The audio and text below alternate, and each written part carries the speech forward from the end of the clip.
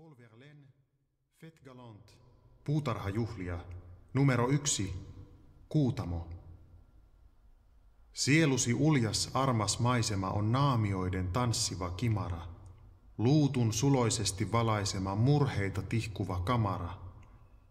Mollivoittoista laulua jylhästä lemmestä, onnesta, juhlioita vailla uskon hehkua, laulu kimpoaa kuun kannesta – Tyyni surukuu on kauniin kelmeä, se puissa lintujen unia kuvittaa, antaa veden suihkuta, kiihkosta itkeä, kun marmori solinaa kurittaa.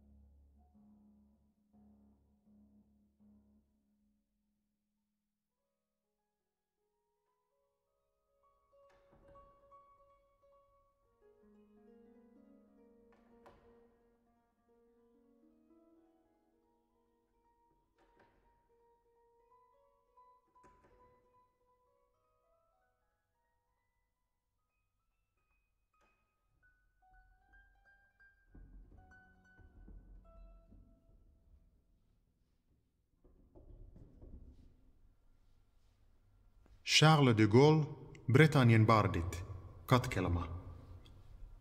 Ruumiini on Pariisissa, mutta henkeni kiitää, linnun siivin kaukaisten veljien luo liitää.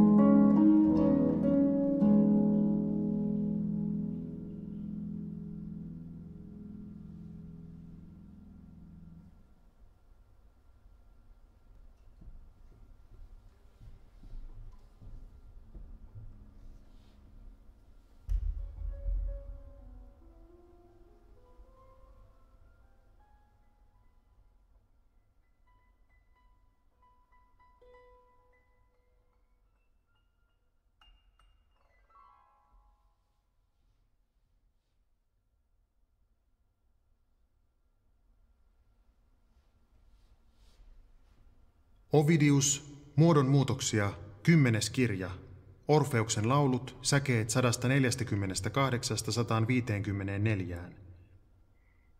Jupiterista, hän on ylinvaltias, äitisä muussa suom minun alkaa lauluni. Jupiterin olen töistä laulanut ennenkin useasti ja kiittänyt, kuinka Flegran kentillä hän salamoillaan voitti gigantit. Lyyrani on kepeämpi nyt – Tahdon kertoa, kuinka poikia lemmiksivät jumaluudet ja kielletyn kiiman vieminä ansaitun tytöt kärsivät ankaran koston.